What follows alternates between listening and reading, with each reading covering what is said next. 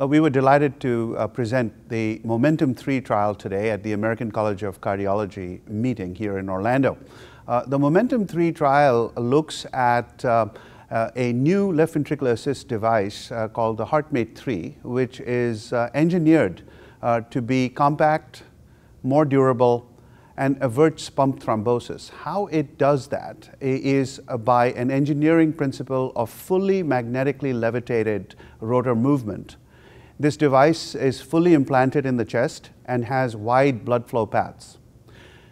The group of patients for whom such technology is relevant includes the advanced heart failure patient. These are patients suffering from uh, uh, severe heart failure, have a poor quality of life, uh, cannot tolerate uh, guideline mandated medical therapy, or have become very refractory to it, often find themselves in the hospital.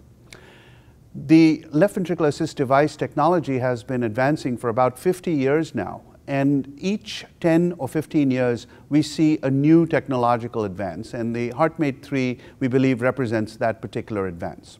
Momentum 3 is a randomized controlled trial between the HeartMate 2 device and the HeartMate 3 device. The HeartMate 2 device is the commonly placed traditional currently available device that is an axial flow pump which has a mechanical bearing in it. As compared to the HeartMate 3, which has no mechanical parts, is completely frictionless.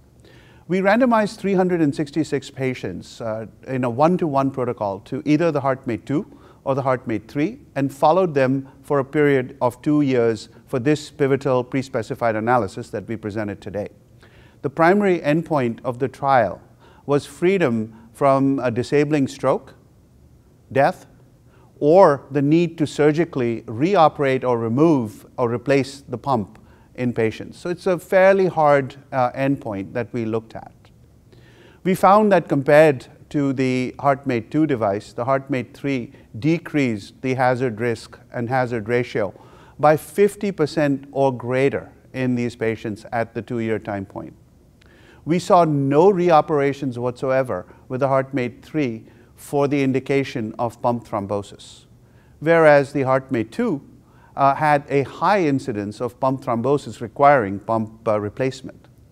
Importantly, this trial also showed us another critical signal on stroke rates.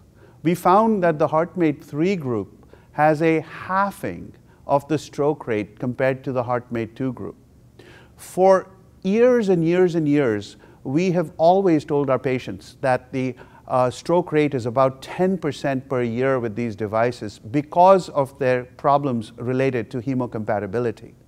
We now find a halving of that stroke rate, and that represents a practice changing advance in the field for us. We believe that the HeartMate 3 is going to be the predicate device that will expand the opportunities for these advanced heart failure patients uh, to receive this uh, treatment in a durable manner and provide them uh, with a long-term improvement in their quality of life and decrease their suffering.